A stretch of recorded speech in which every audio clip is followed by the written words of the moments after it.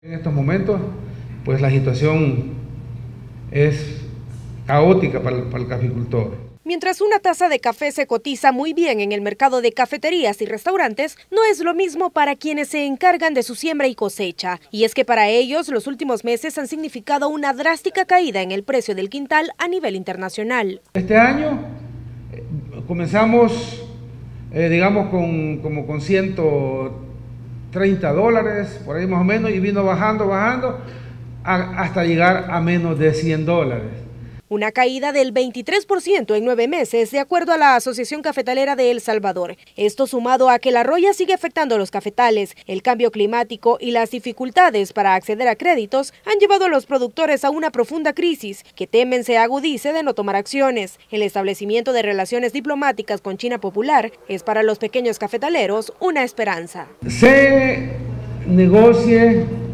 400 millones de dólares que sirvan para reestructuración de deuda de todos los caficultores y para renovación de café.